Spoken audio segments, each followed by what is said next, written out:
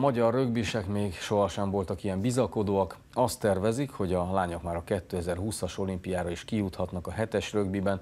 Mondják ugyanis, hogy itt a 100-120 évnyi lemaradásuk a nemzetközi élmezőnyhöz ugye nincsen meg, hiszen a tojáslabdás hölgyek világszerte nem oly régen kezdtek belekóstolni ebbe a sportba a férfiakhoz képest. Nyáron bizonyíthatják, hogy a szövetség nem véletlenül kapott 30 milliós felzárkóztatási hozzájárulást az államtól tavaly évvégén. Júniusban B csoportos Európa-bajnokság Vilniusban, ahol a feljutás a cél.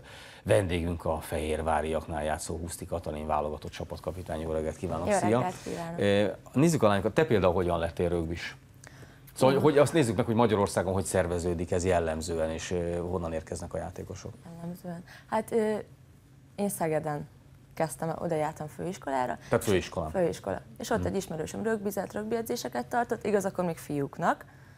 De, De- nagyon érdekelt, nagyon vonzott, és egyszer csak alakult egy lánycsapat, aminek akkor az alapító tagja voltam. Onnantól kezdve igazából el- elindult az, hogy rögbizek, Dolcsos Ferenc, az akkori szövetségi kapitány, a Fehérvárnak az edzője felfigyelt rám, és a Székesfehérvár csapatába leigazolt, és azóta ott is játszom. Mit mondott akkor a tréner, amikor felfigyel, hogy mire figyelt föl? Tehát mi, mi volt az a játékos tulajdonságod, ami miatt elhívottad a Fehérvárra? Igazából a kézlabdás múltam segített ebben, illetve kézlabdás jelenem, ugye még mindig azt is űzöm. Nagyon-nagyon fontos az, hogy a labda érzéke legyen valakinek. Ez a kézlabdából ugye jött, egyből látszódott, hogy van sportos mozgásom, érzékem a labdához, igazából ez volt a legfontosabb. Nem jön zavarba akkor se, hogyha ütközni kell, ezek szerint. Nem, hamar megtanultam, a lépésekkel voltak problémáim. Azt mondják, hogy a kézilabdában milyen poszton játszol? Irányító. Irányítóként. Na most ez egy érdekes, mert akkor már is rávezettél minket arra, hogy a kézilabda akkor egy lehetséges merítés, de, de általában a lányok jellemzően honnan jönnek? Más Vannak, sportágok és űznek vannak. párhuzamosan? Vannak, hát van, van, aki kézilabda, van, aki focizott, focizik mellette, a Székesfehérvárban is egy csapattársam versenyszerűen ö, futzálozik.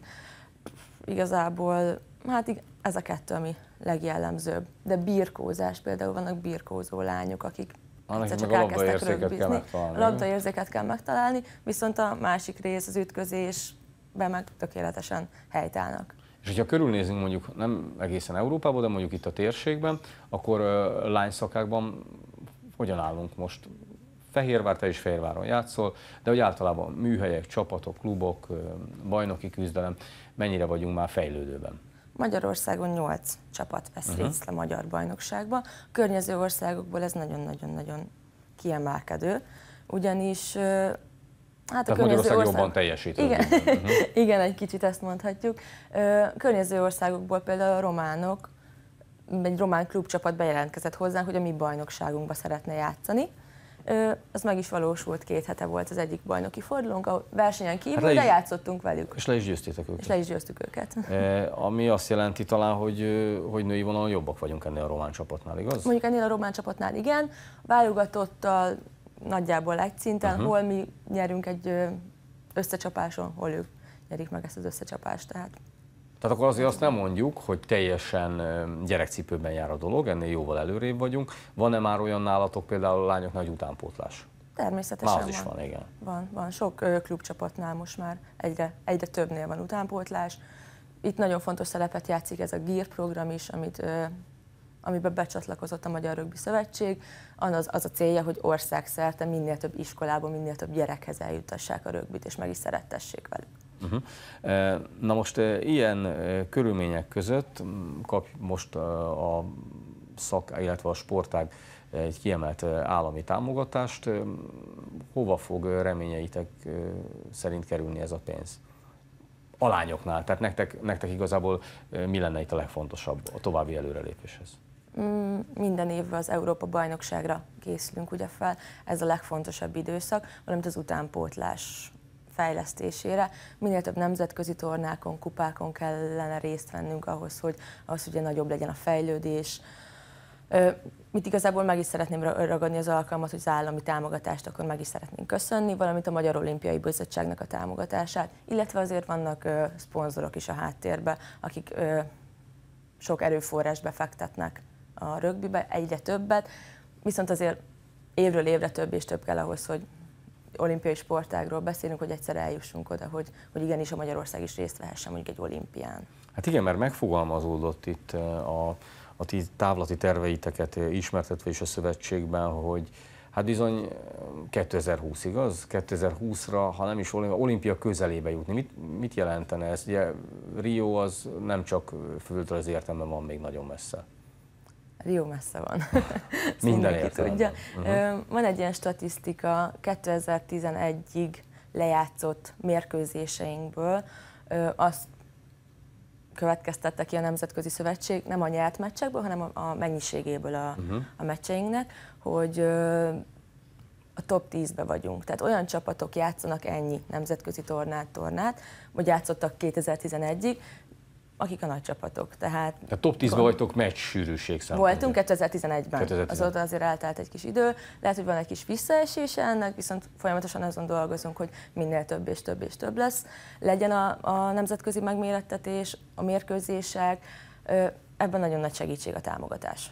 Mert hogy idén lesz a B-csoportos ebéig három felkészülési tornátok is, igaz?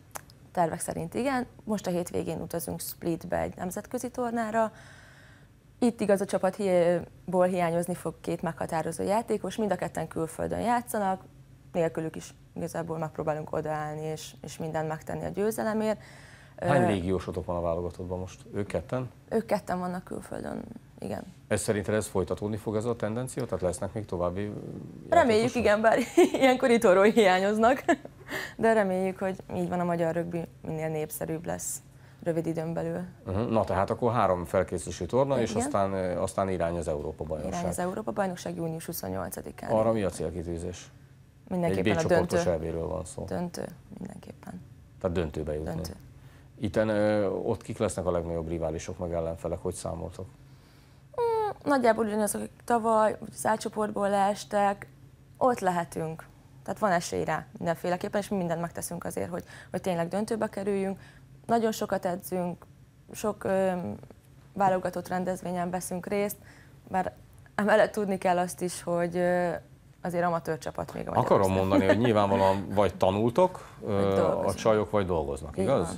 Tehát emellett pro, te, te, is, te is szinten, mell, munka mellett Így van, így van, így van. Akkor az, és milyen gyakoriak így az edzések klub szinten? Klub szinten mondjuk van három edzés, Székesfehérváron, uh-huh. én Budapesten élek, nem tudok minden edzésre lejutni. Egy Tehát budapesti férfi rögbi csapatnál dolgozol, edzem. és uh, igyekszel lejutni Fehérváron minél több edzésre, és nem akkor az itteni. Az itteni férfi rögbi csapatnál, egyik férfi rögbi csapatnál szoktam. Ez a fajta nyitottsága a férfi rögbi csapatok részéről, mert hogy mondtad, hogy annak idején a kezdet is fiúknál történt. Ja.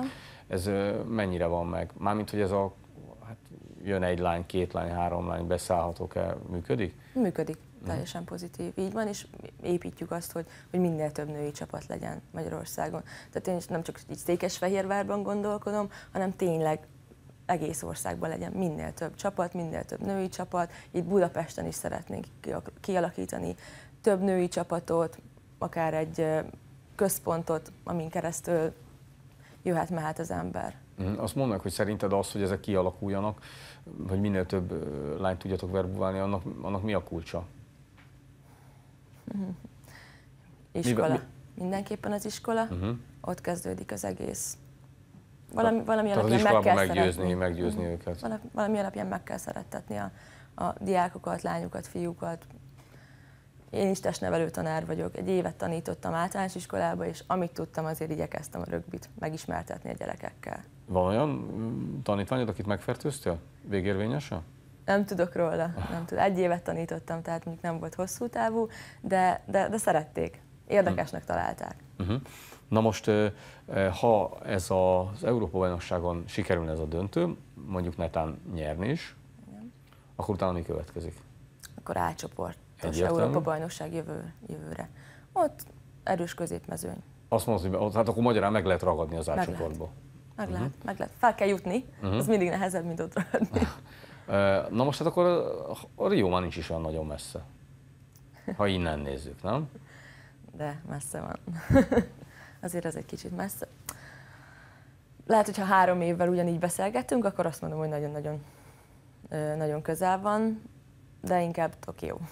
Azt mondod, mert hogy három évvel ezelőtt beszélgettünk volna, mert hogy mondtad, hogy milyen sűrű volt a program, akkor egy, egy kis megtorpanás. Kis az, megtorpanás. Azóta volt. Vol, volt szerintem az elmúlt egy-két évben, de, de most úgy látom, hogy a szövetségi kapitányunk ismét Gyolcsos Ferenc lesz, lett, ősztől ő irányítja a csapatot újra, és ő, ő ismét szerintem oda tudja vinni a csapatot, hogy, hogy megálljuk a helyünket, igen. És utolsó kérdésem, hogy mennyire számíthatunk arra, hogy ahogy a férfiaknál is esetleg, hogy a női szakákban is hát a külföldi tudás, edzők, edző érkezhet Magyarországra? Magyarországon is nagyon sok jó edző van, uh-huh. viszont kell a frissítés mindenképpen. Van rá esély. Férfiaknál is ugye külföldi edző, egy francia edző Igen, irányítja a válogatottat. Uh-huh. Nálunk is tartott már edzéseket, tavaly ő próbálkozott velünk. Szerintem erre ennél egyre nagyobb esély van, és egyre több esély van, hogy külföldiek utaznak Magyarországra, hogy tanítsák a rögbit. Hát akkor Kati, nektek sok sikert a felkészülési tornákon és az eb is, majd figyelni fogunk, és akkor egyezünk ki ezzel az EB feljutással. Hajrá, köszönöm Jó, szépen, ki. Köszönöm szépen.